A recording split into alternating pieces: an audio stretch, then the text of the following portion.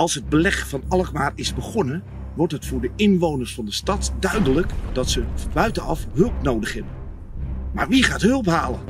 De weg naar Schagen, waar de grote baas Diederik van Sonoy woont, is drassig en met heel veel sloten. En je bent nog niet zomaar zo'n sloot over. De Alkmaarse stadstimmerman Maarten Pieterszoon van der Meij biedt zich aan om de geheime tocht naar Schagen te maken. Gewapend met zijn polstok en berichten van het stadsbestuur gaat hij op weg. Niet wetende dat het een spannende tocht zou worden. Ik ben benieuwd wat hij allemaal te vertellen heeft. Meneer van der Meij, mag ik Maarten zeggen? Nee. Oh. Maar eh, waarom is die polstok zo handig? Eh, nou, als je hier zo door het eh landerijen loopt, dan kan je nog wel eens een Spanjaard tegenkomen. Ja, Dus die kan je een flinke hijs verkopen gelijk. En als wapen is die uitermate geschikt.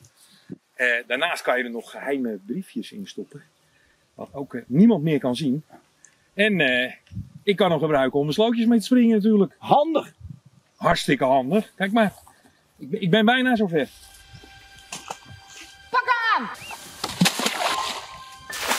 Mevrouw Rembrandts, beetje rustig alstublieft. Zeg, wat stond er op die briefjes? Eh, nou, daar stonden eh, ja, de boodschappen van het stadsbestuur.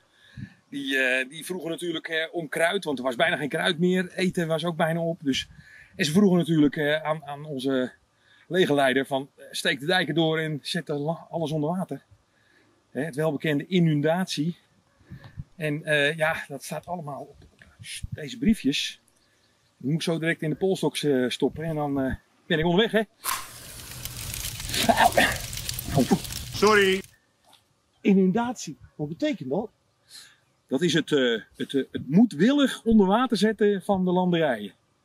Dus eh, ja, eigenlijk net als hier. Hè? Je graaft een geultje en dan stroomt dat onder. Perfect. Oké dan. Alleen zijn sommige mensen daar niet zo blij mee. Dus we moeten nog even strijden tegen de boeren die daar natuurlijk weer tegen zijn. Want die gooien anders weer het geultje dicht of het gaatje dicht. Dat kunnen we natuurlijk ook niet hebben. Dus eh, we moeten harde maatregelen hebben voor Alkmaar. Dus waar moet u nu naartoe? Ik, eh, ik ben nu onderweg naar Schagen.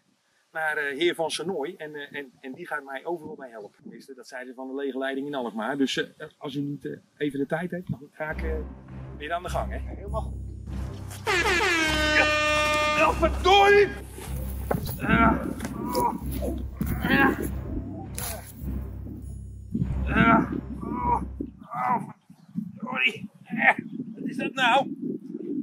Jij zou ook nooit eens een keertje uit. Waar wilt u naartoe? Ik, ik moet naar Schagen. Met, met, met mijn polstok. Dat kan. Kom maar achterop. Oh, dat zou geweldig zijn.